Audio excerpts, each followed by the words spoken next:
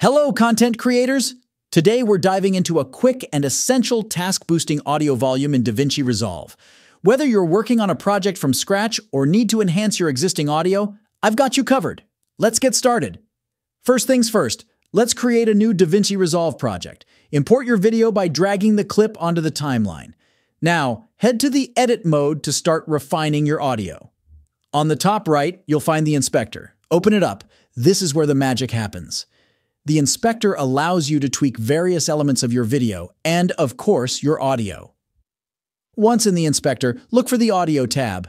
Click on it to reveal the audio-related settings. Here, you'll find the volume control, the key to giving your audio that extra boost. Now, under volume, you'll see a value.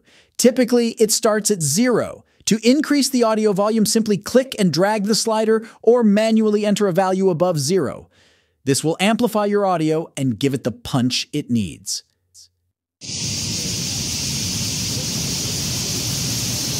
And there you have it. A quick and easy way to increase audio volume in DaVinci Resolve. Whether you're fine-tuning your project or revamping existing footage, this technique will make your audio stand out. If you found this tutorial helpful, give it a thumbs up